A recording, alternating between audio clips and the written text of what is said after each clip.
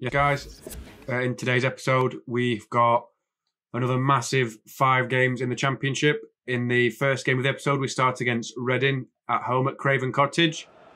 And as you can see, the team on your screen, we've got a few players dropping to the bench this game, like Harrison Reed and Harry Wilson. And uh, due to the games coming so thick and fast in the Championship, Tanganga's coming in at right back and Mawson's coming at centre back. Then we've got Seri, Chalobah uh, as the holding fielders, Caballero on the left, and they are the changes for the team. So in the first game, Reading get a chance in the third minute. They manage to keep the ball in. Somehow, Morrison keeps it in. Then Laurent gets the ball, plays it to Ejaria, plays it back to Josh Laurent, and he scores an absolutely fantastic goal against Gazzaniga. There's no stopping that for an Argentinian goalkeeper. I mean, I, sometimes I think Gazzaniga could save some of the shots he concedes, but I mean, there's no saving that. And Reading take the very early lead with Josh Laurent doing very well to keep that move alive. And uh, then again in the 22nd minute, they get another chance. Alan Halilovic plays it to Yadiom.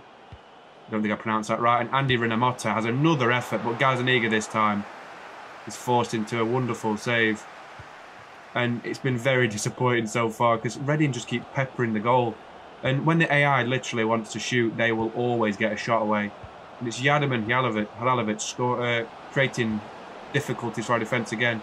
And Meite crosses the ball and uh, Gazzaniga eventually uh, comes out and collects the ball. It's a very disappointing first half from the boys. And from the corner in the 59th minute, we try and find Mitrovic. And Seri picks up the ball for our first real chance of the game. And Mellor picks up the ball and absolutely thumps one into the bottom corner against the Reading goalkeeper. And with the five-star, five-star combo of Mellor, I don't think there's many better youth players on this game at the moment. But that brings us back into the game. And uh, as you can see, in the 73rd minute, Reading get another chance. It's Laurent again. Plays it to Rinomhota. And I'm not sure what their formation was before the start of this game. But it seems like Rinomhota and Laurent felt like strikers this game. They literally had so many chances between them. And they just kept creating space. Like, look at that. Every single pass seems like every gap. The double tap pass and it made it through. But it was disappointing nonetheless. And then we get another chance with Adarabioyo losing out on the header. Christie plays it back out, and Decordova-Reid plays it to Ricky J. Jones, who thumps one again into the top corner of the goal. And 87 minutes gone. You wouldn't put it past us to score another. But I mean, that is a fantastic finish from Ricky J. Jones. As you can see, the fans are going wild. That is the exact same fan, just to say, that is the exact same fan celebrating. They must be twins. I don't know. But uh, yeah, Ricky J. Jones gets us back into the game. And then in the in the last minute of additional time, Reading are on the attack, and the ball gets crossed in, and Hoilett, or is it Rinomhota, misses an absolute sitter against Gazzaniga. It's a very good cross from whichever one crossed there, and he should have scored. I don't think Gazzaniga was anywhere near that, but we've got to let off the, look, uh, the hook a little bit there. And uh, it's not a bad result of the cottage, but we do want a bit better results if we're going to be challenging for the title this season, or at least the playoffs. As, as, as you can see, the press conference just sort of confirms that as it wasn't a bad result against a decent Reading team because they have got a lot of good players, but it's a very aging team, and they've got a lot of players who are towards the end of their careers or at least the late peaks of their careers. So we need to beating teams like that. But we go straight away into another game, and now we've got Bristol City at Ashton Gate. I believe it's called the Stade Municipal, but I mean it's Ashton Gate really. I, I'm not sure why EA haven't managed to get the rights to all the championship stadiums since people like to do championship career modes, but I guess they're not bothered. They're more bothered about Ultimate Team. But the team on your screen, a few players have come back in, like Harrison Reed, Harry Wilson's come in, Kearney's come in, and uh, Dembele's come back in the holding with Tanganga going back at centre back and Tete as the right back. Mitrovic is still the top, top scorer in the league, but as we see, the luck is just not with us at the moment. Like conceding a goal like that is just it's very very disheartening to play against. Nahki Wells is a good player in real life, but look at that. I think Gazzaniga should have done a lot better with that. It's very disappointing and frustrating to concede that. But then we have Da Silva playing the ball into Williams. And James picks up the ball, plays it to Martin, and then Wells scores again. I mean, this one again from Gazzaniga. If we do get promoted, I'm just thinking that we will need a new goalkeeper to replace him because he's a decent goalkeeper. But I'm either going to play drop him for Rodak at some point or buy a proper Premier League goalkeeper because I think proper Premier League goalkeepers win us games or at least gain us points. But as you can see with that one, their keeper had no chance of that either. Mitrovic with a good finish. I couldn't. I tried to pick up the ball to be honest, but for some reason, past like unless it's like the 55th minute, the game doesn't let you pick up the ball, which is quite weird. But I mean, it's it's FIFA. I'm not expecting it to be super realistic, but it gets us back into the game at least. And uh, we've got a lot of work to do to get back into the game.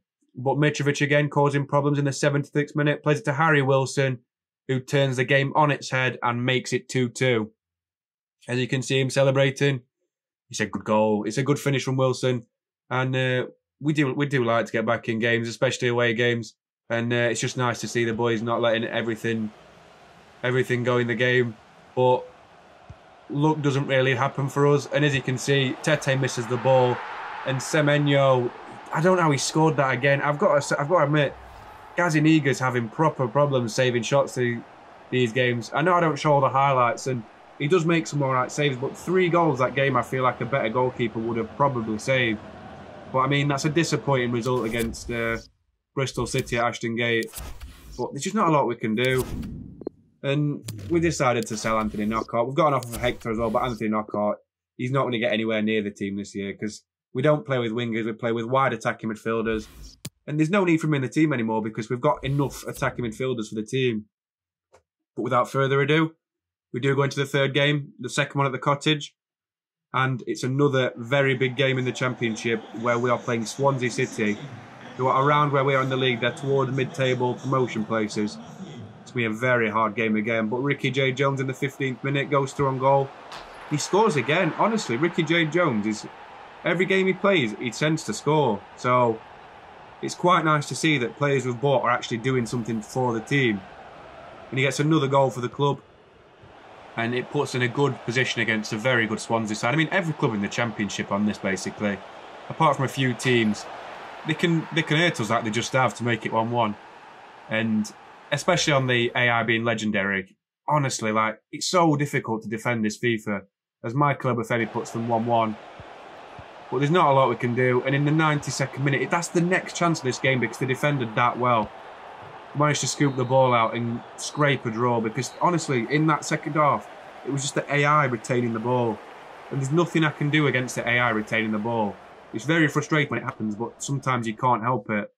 And I'd like more options in the press conference because I would be very like, it's difficult to say what emotions I'm feeling, but it's disappointing when you can't get the ball off the team. So they were playing like prime Barcelona when they're 5 0 up. And we just couldn't get the ball off them. And it's really disappointing and disheartening when you're trying to do a series and trying to enjoy the game that every team you play against seems to retain the ball so well, even if they've got 55 rated in midfield or 95 rated in midfield. So there's nothing you can do with it really. But as I said, it's not the best result. But like going into a team like Coventry as well.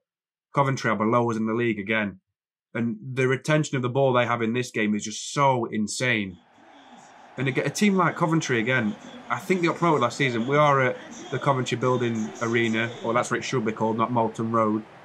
Uh, Building Society Arena. But this is our another game where we've had to make changes. The games come like every couple of games, uh, well, a couple of days, sorry, and it's very difficult to beat teams. And as you can see, we're sixth in the league at the moment, and they're eighth in the league. They're also vying for a playoff place like us, and it's also another difficult team because, as I said, I think they got promoted last season, so it's just a difficult game to go into.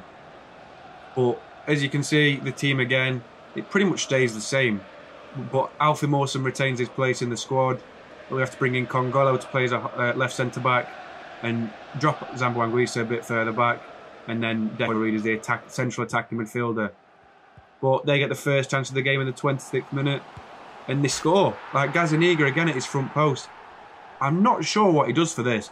I think it hits him in the head, but it's just disappointing because it's shots I can't do anything about. Like we haven't had a clean sheet this season for a reason. I think if we play a bit more of Rodak, who I know a lot of Fulham fans do like Rodak, especially from the team when they got promoted the other year. It'd be nice to see him do something in the team rather than just get relegated to the bench all the time. But then right towards the end of the half, Harry Wilson really should score, but I think he takes it on his, I think he took it on his right foot, and it's, it's just unfortunate. But I mean, it's difficult to create chances. That was the only chance we created this half, and I'm not great at FIFA, but it's just so difficult to break down the AI this year, more than I've ever felt it has been before. Which is why this episode is so just difficult in general because every team retained the ball so well compared to what they did the episode before and we won quite a few games. And Gazzaniga has an absolute shocker again. I don't know what he's doing for any of the goals. He goes the wrong way and completely misses the ball. And I'm not sure what I'm meant to do to defend Callum O'Hare there, who had a really good game this game. But we finally do get a chance the 83rd minute. And honestly, it's a good finish from Mellor, the youngster. It's just so disappointing that we can't do anything sometimes to defend a goal. Whereas other FIFAs, if you did something right, you'd get rewarded for it, especially offline, not not necessarily online. But like this, I tried to play a um, not well, I tried to play a overload ball side, but I pressed the wrong button, so my defence pushed up, and they scored because I offside trapped their defence, even though there was no need to offside trap them. So there was no saving that from Gazzaniga, but they score in the last minute, and it's just so disappointing for us to lose against Coventry. I know they're just below us in the league, but a super disappointing result. And in this press conference, I really go into the players for it. So I just think, why have we like took a step backward this episode? Why has the defence suddenly become like we were never good, but like as you can see, I start kicking off in the press conference completely because nothing good happened. None about O'Hare playing well. We literally did make him play good, but I didn't want to say that because it would have damaged the team's morale even more than it already was. So because we were so poor in the first four, I thought, oh, maybe we could turn it round and go to Craven Cottage and beat QPR because our team is so much better. I'm just not too sure why Tanganga is the captain, the default captain at the moment. I would think Dembele or Zambo would be the captain or Mitrovic. The three people I have over him as captain, so I'm not sure why, but we'll, we'll leave it for this game. I'm not changing it in game. So, uh, usual lineup, really, that. And uh, doesn't take long. Well, to be fair, it takes 43 minutes to have a first chance of the game. Wilson runs down the line, crosses it to Mellor, and he absolutely fires one past the goalkeeper. Mellor has been much better than Kearney so far this season. It upsets me to say because I like Kearney. I think he's a very good player. But, I mean, it's a good good ball from Wilson, but Mellor scored his second or third goal of the season, I believe. There's no saving that. Look at that. It's un unstoppable, really. And then again in the 55th minute, we try and cross the ball to Mitrovic, and he scores again if this man is not the best header of the ball in the Championship or, or the Premier League, or even in uh, the entire world, I'm not sure who is. I've never seen him lose a header on this game. Then in the 60th minute, Prince has the ball for QPR, plays it to Gray, and we concede. And Gazzaniga can't really save that. Um, for QPR, I'm not actually sure if Prince is.